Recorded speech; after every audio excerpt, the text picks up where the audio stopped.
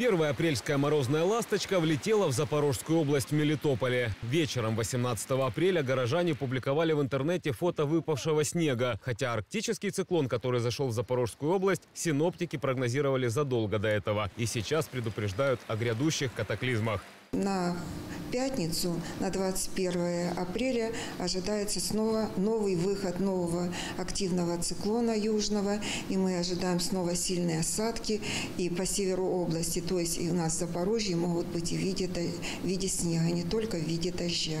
Утром 19 апреля и запорожцы ощутили последствия циклона. Нулевая температура, ветер до 15 метров в секунду, снег, дождь и поваленные деревья.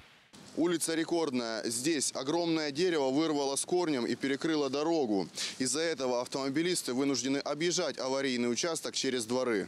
Тем, кто, несмотря на погоду, выехал на запорожские дороги, можно сказать, крупно повезло. Не смогли отправиться в путь те, чьи машины припарковали упавшие деревья.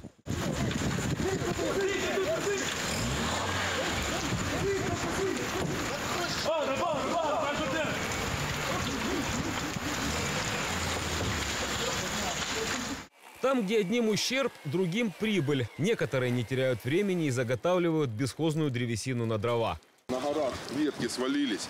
Так. Вот. Ну и вот это. Вон оно, видно, корень вырвало. Ну, поэтому решили попиляли, да и все. А коммунальщики были? Да, они вот там попиляли, вон только что приезжали. Коммунальщики вместе со спасателями бросили все силы на ликвидацию последствий непогоды. В первую очередь распиливают и убирают деревья, упавшие на дороги и преградившие движение. Ведутся работы и во дворах. Старые акации, изгнившие изнутри тополи, не выдержали нагрузки снега и ветра и рухнули под тяжестью собственного веса. Наши подразделения выезжали на случай падения э, зеленых насаждений деревьев на э, припаркованные автомобили. Э, также больше 20 раз мы оказывали помощь в организации проездов, обеспечении безопасного дорожного движения, либо пешеходов, прохода пешеходов по территории города Запорожья. Очищали проходы и проезды от поваленных деревьев.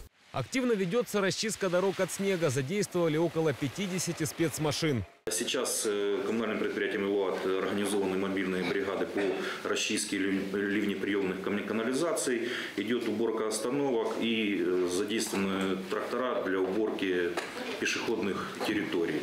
В нескольких районах города порывы ветра повредили линии электропередач и 13 тысяч домов остались без света. Сейчас подача электроэнергии практически везде восстановлена. Общественный транспорт работает согласно графикам. Улица Днепровское шоссе. Здесь упавший тополь порвал троллейбусные провода. В течение часа коммунальщики решили проблему, и движение было восстановлено. Больше всего от непогоды пострадал Хортицкий район. Там сильный ветер повалил полторы сотни деревьев. Шесть упали на машины. Еще одно разбило окно в квартире. Снегом напиталось, э, валятся, я не знаю, как, спички. Э, В основном задела 15, 16, 17. Задела хорошо Гудыменко за Днепровскую, там, где открытые места, там, где гуляют ветра. Распоряжением городского головы приостановлены занятия в школах. При этом возобновлена подача тепла в учебные и медицинские учреждения Запорожья. Максимально дать отопление на родильные дома, интернаты, хотя они и не нашего подчинения, не областного, будем так говорить. Детские сады, школы, больницы, родильные дома. Касаемо жилых домов, то в них потеплеет лишь при улучшении погоды. Давать тепло в многоэтажки не планируется. Сейчас все дома установлены так заглушки, и все дома отсечены от системы.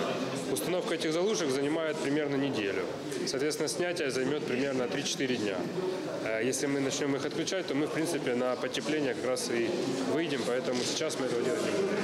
В гидромедцентре заявляют, потепление придет уже в конце недели. Но пока спасатели предупреждают запорожцев об опасности. Круглосуточно в усиленном режиме дежурят 125 бойцов ГСЧС. Постарайтесь без лишней надобности не выходить из дому, э, двигаясь вдоль деревьев, там э, электропроводов, будьте осторожны, обходите места, где они могут упасть, то есть вероятность их падения высока.